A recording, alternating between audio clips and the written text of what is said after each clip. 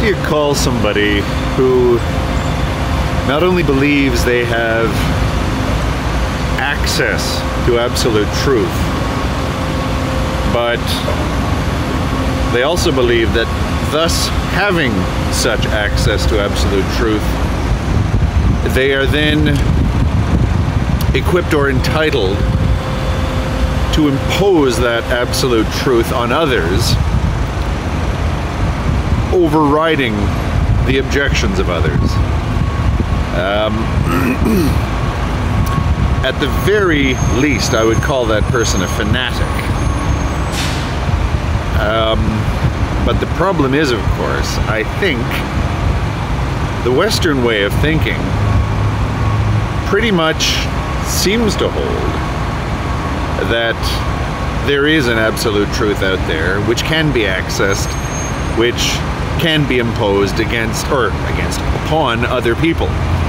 We don't seem to agree on what that truth actually is, our, and our, our belief in absolute truth and its imposition, I think, has somewhat been watered down a bit by the events of the mid 20th century and totalitarianism Nazism, Stalinism, that kind of thing. And we've just sort of said, all right, maybe that's not such a, a great idea. but I sometimes, you know, when I analyze what I call popular or contemporary morality or everyday morality or everyday ethics or everyday, what you call it, epistemology or whatever, I find that that idea doggedly clings to our way of thinking, and especially in the English speaking world. Um, in the French speaking world, it's not quite so bad, or quite so pronounced, I should say. Maybe it's not even bad, but um, it's been my experience with French Canadians, at least, that they tend to moralize a lot less than English Canadians do, and they're more likely to say, well, you know, that's.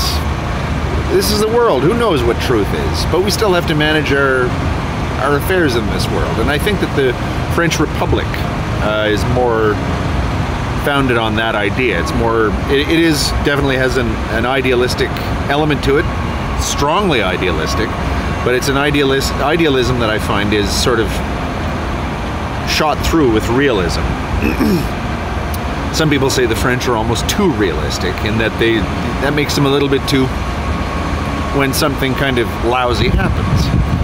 Um, that's kind of the English moralistic condemnation of the French, but again, the French would probably hold that the English are far too moralistic and you're expecting too much out of human beings. Um, but, you know, it's. Totalitarianism has never really taken hold in the English speaking world, but a totalitarian way of thinking, I would say, is probably more common here, more common in our um, view of life, the universe, and everything. Um, in that we still got that old kind of puritanical idea that okay, maybe we disagree on the the particulars, but we do know the truth is out there. Right and wrong do exist. Um, you know, you, you get this in the weirdest places, like uh, lines from um, Hollywood movies. I remember one with Harrison Ford where he was playing, uh, what was his name there? Uh, Jack Riley, I think uh, where he said, uh, Nope, this isn't about good and evil, it's about right and wrong. this is an extremely common view. Now, do I think that this sort of thing leads to totalitarianism? No. I would say, however, that it robs individual life experiences of a lot of clarity. Um, because if your worldview is contingent upon a right and a wrong existing out there, i.e., an absolute truth, um, you're in for a nasty shock when you're confronted by things like relativism. Um, that kind of PC phobia that gets a hold of people that you know that you're being attacked somehow by some sort of passive aggression through, by the PC police or whatever. But you don't really know how to defend yourself because what they're doing is they're substitute you're substituting your absolute truth for their absolute truth. and they're attacking you in a way that you can't really come to grips with. um, it's like you're being accused of, um, or, you're being asked to prove that you didn't do something um, because your ethics, the basic foundations of your ethics, are on trial. Um, by another system that's just as absolutist as yours is. and that to me is the kind of the, the nihilistic trap in what I would say the English speaking world and its ethics. Um, we believe that there is an absolute ethical truth out there, moral truth, and that A, we can access it, and B, we can impose it on other people. It's, you know, gentlemen of the jury, what do you, how do you find the uh, defendant? Guilty or not guilty?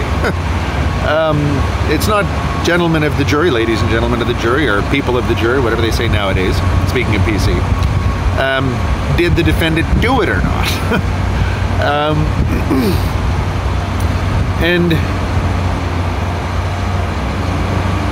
as I say, that that kind of thing has a nihilistic twinge to it, if you ask me, simply because what you would get condemned for this year, you'll be let off with next year, and then get condemned for again the following year because our views of absolute truth keep changing.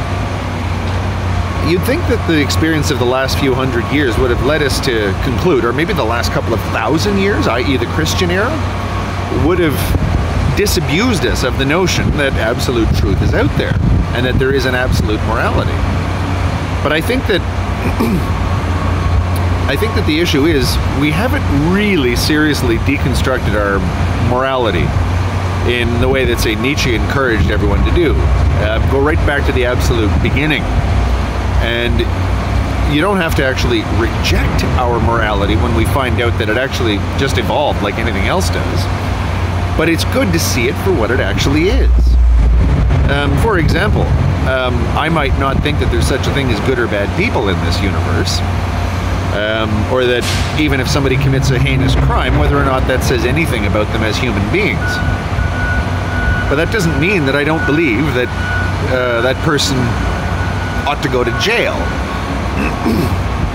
maybe not for moral reasons or you know when i get when i think about it hard morally should this person go to jail or not well morally who knows who, who can tell what this person's moral makeup is.